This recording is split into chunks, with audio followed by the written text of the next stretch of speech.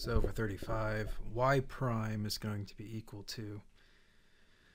So derivative of the secant squared is 2 secant x times secant x tangent x and then um, derivative of the tangent squared is going to be plus 2 tangent x and then um,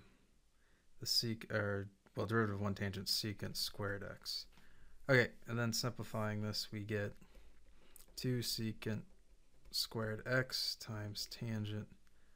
x plus 2 secant see here squared x tangent hold on tangent x looking at my notes um, is finally equal to breaking this down through identities 4 secant squared x tangent x. That's it